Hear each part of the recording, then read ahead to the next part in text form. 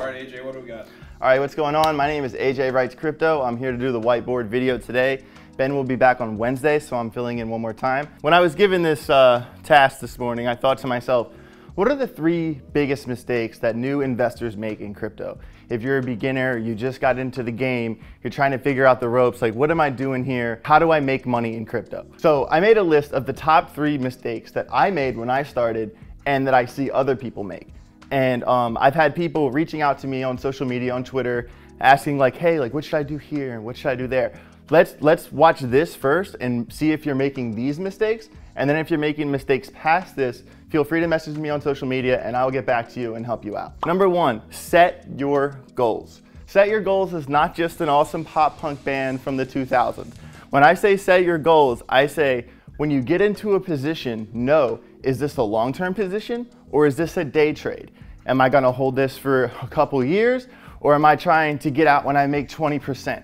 What I see people do is they get it, say they get into a position for $1,000 and they say, oh, I'm gonna hold this for five or 10 years.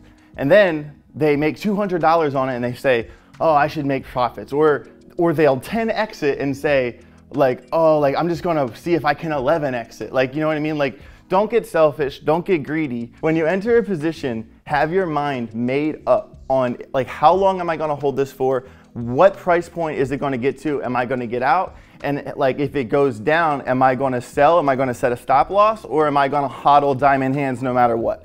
So number one, set your goals, know what you're doing, have a plan before you open the position.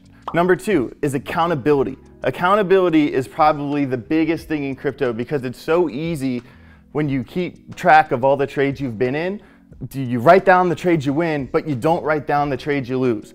And like say, like if you're DCAing every week and then, you know, like one month things get tight and you skip that week or whatever, you can't blame anyone else for any of the mistakes you make in crypto. Out of all the influencers you watch, out of everything, all the information you take in about crypto, no one is clicking the button for you. You are clicking the button yourself. You are making the decision.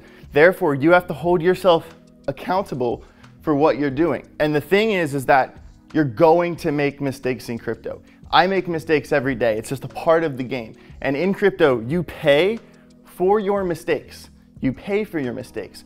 And when you, like, I can talk to them red in the face about all the things that I've done wrong, but you're going to make those mistakes yourself. And when you do that, that's when you actually go, oh, like, okay, like I shouldn't do this, I should do that, etc. So accountability, be accountable, pay for your mistakes. Set your goals. And the third, and probably the most important thing I'm going to say today, is don't fall in love. Don't fall in love. And I don't mean with your girlfriend or boyfriend or whatever. I mean, don't fall in love with your bags. This is such a problem that I've seen, especially in bull runs, when, say, someone gets into a coin for five cents and that coin goes to five dollars and then they say like oh like I, I really like that bag like what if it can go to six dollars or what if it could go to $10? No, don't fall in love. Because if you, when you started that position, if you set your goal, you set your goal and you say, oh, when it gets to this price, I'm out. When it gets to that price, don't change your mind. Hold yourself accountable to keep the goal you made and don't fall in love. These three things here are not, it's, a, it's not a list, it's a circle. And if you keep yourself accountable, you set your goals, you don't fall in love, you will make money. It's a guaranteed thing. As long as you like, the risk management is super important. Setting a stop loss, all that kind of stuff, very important. So like when you, when you have these positions, you have conviction, you have faith, you have accountability, you have the diamond hands, you know you're gonna hold it. Well, if you lose, like you have to stick to your plan. You can't just say like, oh, like I lost 50%, I'm gonna sell. No, just keep DCAing, stick to your goal, stick to the script, don't fall in love, my name is AJ Writes Crypto. If you have any questions, feel free to message me. I am around. I talk to people every day about how you can make money in crypto. That's all I got. Be blessed. Have a good day.